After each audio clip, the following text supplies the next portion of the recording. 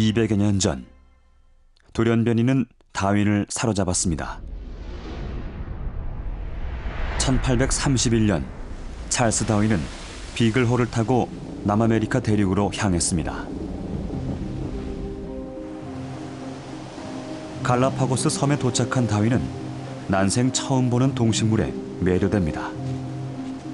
그 중 하나인 이구아나. 이구아나를 관찰하는 과정에서 이상한 점을 발견합니다. 그가 처음 본 건 긴 주둥이의 육지 이구아나.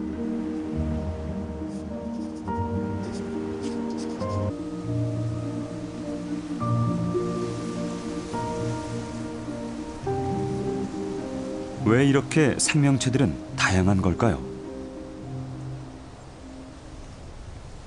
다윈에게 영감을 준 건 나무였습니다.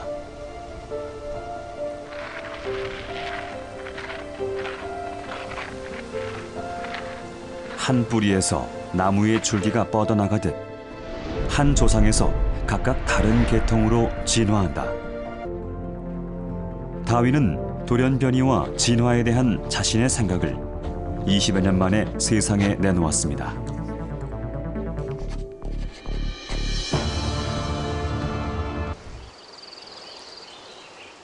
말년의 다윈에게 풀리지 않는 수수께끼가 하나 있었습니다. 그의 진화론, 즉 자연 선택설로는 모든 종의 다양성을 설명할 수 없었습니다. 왜 생기는 걸까요? 다윈은 생존이 아니라 번식을 위해 몸이 진화하는 과정을 성선택이라 정의했습니다. 종의 다양성은 자연 선택만으로는 설명할 수 없다.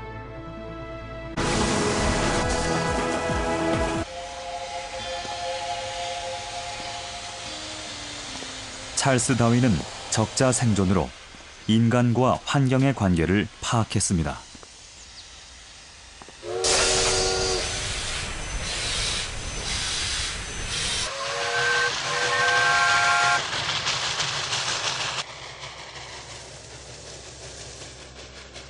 진화론으로 고민하던 다윈에게 영감을 준 책이 있습니다.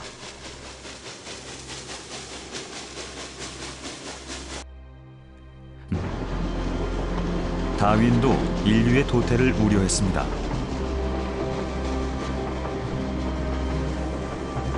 그러나 그들의 우려와는 달리 인구는 급증했지만 식량 생산량은 더 빠른 속도로 증가했습니다. 산업혁명, 즉 기술의 진보가 인류의 도태를 막은 겁니다.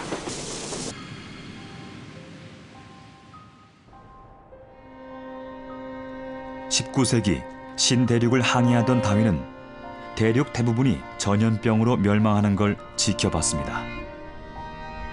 그는 유럽의 발길이 미치는 곳마다 죽음이 드리워졌다라는 글을 남기기도 했습니다.